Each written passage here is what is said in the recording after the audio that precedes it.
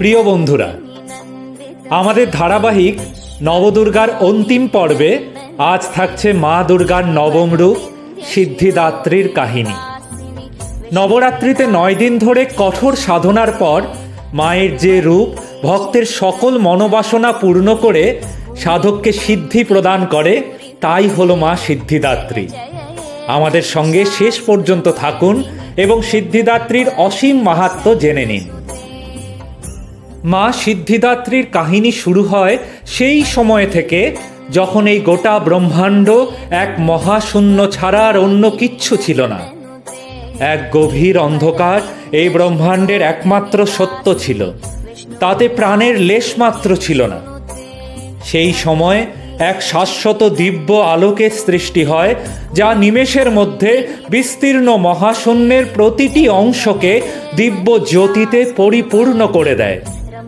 সেই আলোক সাগর ধীরে ধীরে এক দেবী রূপী আলোকপুঞ্জে সমাগত হয়, যিনি ছিলেন মা ভগবতীরই আরেক রূপ, মা কুষ্মান্ডা কুষ্মান্ডা স্মিত হেসে এই ব্রহ্মাণ্ডের সৃষ্টি করেন।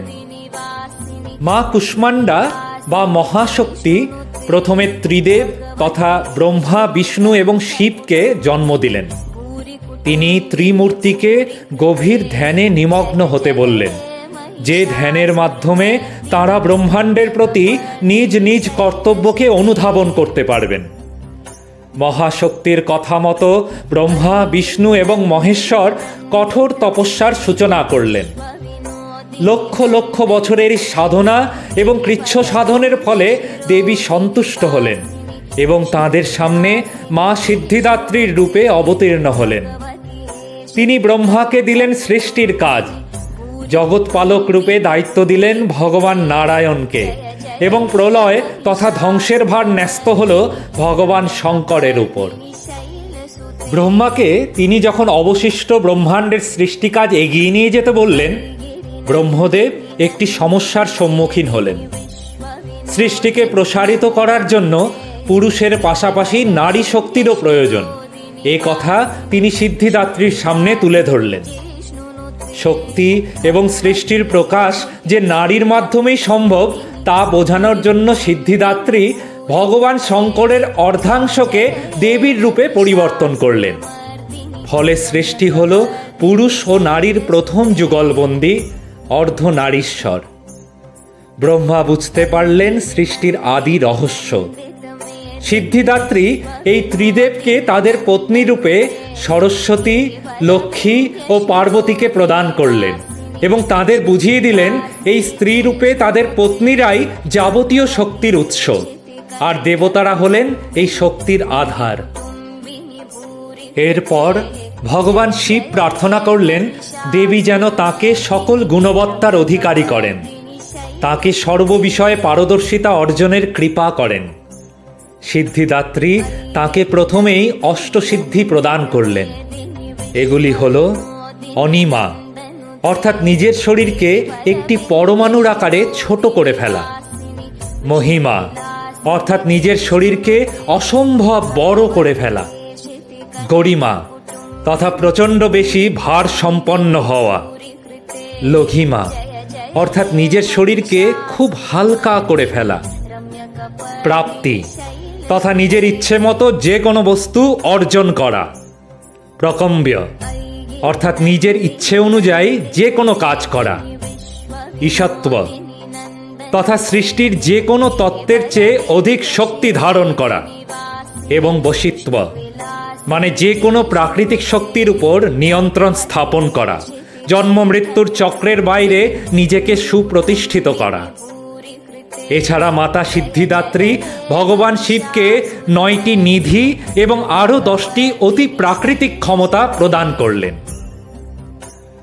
এরপর পুরুষ ও নারী শক্তি থেকে এক এক করে মানব মানবী দেব দেবী দৈত্য দানব, অসুর, গন্ধর্ব, যক্ষ, অপ্সরা, ভূত, বৃক্ষ, জলজ পার্থিব ও বায়বীয় প্রাণী প্রমুখরা জন্ম নিল। ব্রহ্মাণ্ডের সৃষ্টি হল অসংখ্য গ্রহ, নক্ষত্র, ছায়াপথ ইত্যাদি। পৃথিবীতে জন্ম হল মৃত্তিকার, সঙ্গে মহাসাগর, নদী ও অন্যান্য জলাশয়। বিভিন্ন প্রকার জীবজন্তু এবং গাছগাছালিতে এই ধরিত্রী পূর্ণ হয়ে উঠল। চোদ্দটি জগৎ সৃষ্টি হল। সেখানে সমস্ত প্রাণীরা ঘর বানিয়ে বাস করতে আরম্ভ করল। এই ব্রহ্মাণ্ডের রচনা সমাপ্ত হলো। মাতা সিদ্ধিদাত্রী চতুর্ভুজা। ইনি কখনো সিংহবাহনা, আবার কখনো পদ্মাসনা। তার দক্ষিণ দিকের দুই হস্তে চক্র ও গদা রয়েছে এবং বামের নিম্নস্থিত হস্তে শঙ্খ এবং উপরিস্থিত হস্তে পদ্মফুল। নবরাত্রির পূজার নবম দিনে তার আরাধনা করা হয়। এই দিন সাধক তার চেতনাকে সহস্রার থেকে বারো ইঞ্চি উপরে স্থাপন করে। এই দিন শাস্ত্রবিধি এবং নিয়মানুসারে এবং পূর্ণ নিষ্ঠা নিয়ে যারা সাধনা করে, তারা সকল সিদ্ধি প্রাপ্ত হয়। জগতে তাদের আর কোনো কিছুই অগম্য থাকে না। ব্রহ্মাণ্ডে পূর্ণ বিজয় লাভ করার ক্ষমতা হয় তাদের। বন্ধুরা, আমাদের ধারাবাহিক নবদুর্গা আজ এখানেই শেষ হচ্ছে। আমাদের প্রার্থনা, আপনারা নবরাত্রির সময় শুদ্ধ চিত্তে সাধনা করে মা ভগবতীর পূর্ণ কৃপা লাভ করুন এবং জীবনকে ধন্য করুন।